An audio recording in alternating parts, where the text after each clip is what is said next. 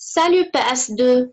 Aujourd'hui, on va faire de la coloriage ensemble. Regardez la fiche 11 dans le livre de mathématiques. Que voyez-vous dans cette fiche? Des pots, bravo. Comptez avec moi les pots.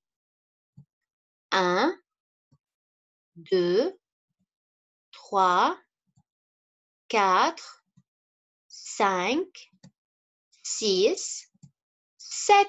Alors, il y a 7 pots. Regardez le, chiffre qui est écrit en rouge. C'est quel chiffre? C'est le chiffre 6. Retracez le chiffre 6 avec l'index. Bravo, PS. Regardez en haut. C'est quel pictogramme? Je colorie.